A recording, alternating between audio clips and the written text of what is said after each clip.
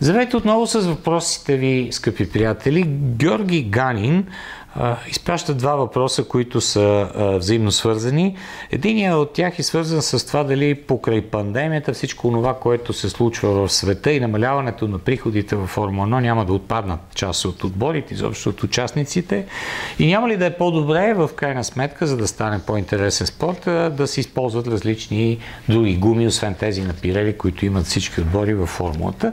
Въпросите са свързани с финансиране и с оформянето на, на правилата. Изглежда, че при въвеждането сега на новия бюджетен таван, разпределение на приходите от спорта, отборите ще запазят позициите си, включително Хаас, включително Уилямс, които ако се беше запазила старата формула на финансирането в Формула 1, вероятно нямаше да имат сили да продължат участието си, щяха да продадат може би на части компаниите си и специално при Хаас пък това изобщо нямаше да бъде проблем, но сега с ограниченията, с въвеждането на по-голямо количество изследвания от страна на малките отбори, за да се поизравнят силите, тази перспектива се отдалечава. Що се отнася, понеже Формула Е е спомената, във Формула Е също вече се говори за бюджетни ограничения по отношение на развитието на задвижванията, електрическите двигатели, където се хвърлят огромни пари, защото и там действително започва да съществува вече опасност от а,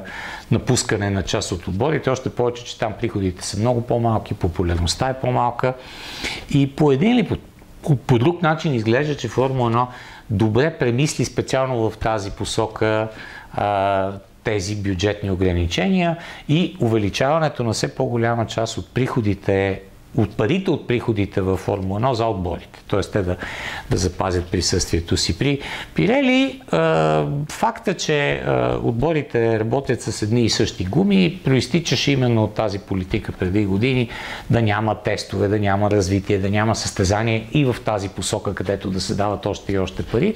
И беше решено да има един доставчик на гуми.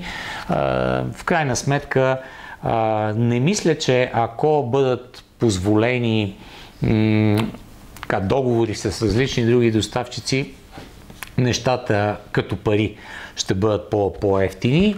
И от тази гледна точка двете теми са свързани и поне до 2024 година не изглежда да има промяна в тази посока за добро или, или за лошо. Тоест ще, ще останат с едни и същи гуми, няма да се правят специални тестове, специални разработки за нови типове гуми, макар че със сигурност би било много по-интересно, ако отново има съревнование между производителите на, на гуми. Благодаря за въпросите, ще бъдем отново заедно скоро.